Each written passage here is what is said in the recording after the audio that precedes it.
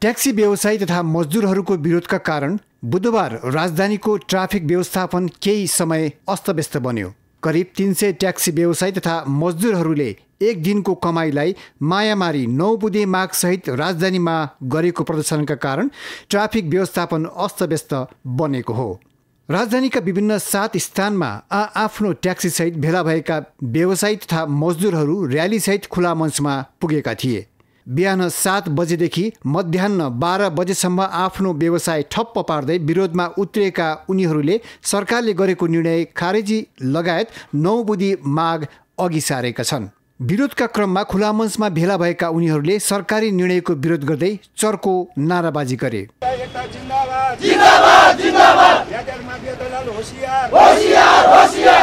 भौतिक योजना तथा यातायात मन्त्रालयले गत असार तिन गते बिस वर्ष पुराना ट्याक्सी विस्थापन गर्ने र नयाँ स्थापन गर्ने निर्णय गरेको थियो। त्यसै गरी भूकम्प पीडितका नाममा पाँच सय ट्याक्सी दर्ता खुला गर्ने निर्णय पनि मन्त्रालयले गरेको थियो।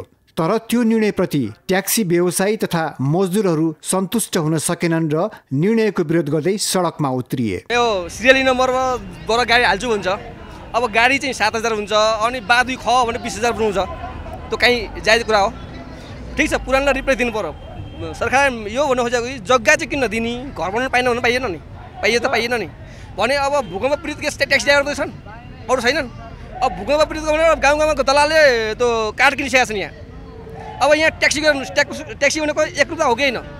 अब डिलक्सले सुपर डिलक्सले के के हो के को थाहा छैन यो। यो कल्चर चाहिँ यहाँ। अब यहाँ अहिले यही ट्याक्सी त यहाँ राख्ने ठाउँ छैन। अरू चाहिँ ल्याएको ल्याइ मात्रै गर्छ यिनीहरू दलालहरूले अनि चाहियो ठाउँ चाहियो। अब एउटा हस्पिटलमा काहीँ हस्पिटलमा दुई चारजना बिमारी कुर्नु पऱ्यो भने त्यहाँ रोक्ने ठाउँ ठाउँ छ नि यहाँ। खालि कुदाको कुदा हुन्छ। अब हामी जहाँ रोगको पेसेन्जर झार्नु नपाएको छैन पेसेन्जरले हजार नोट दिन्छ ट्राफिक आएर चिटकाटिहाल्छ एक नम्बर।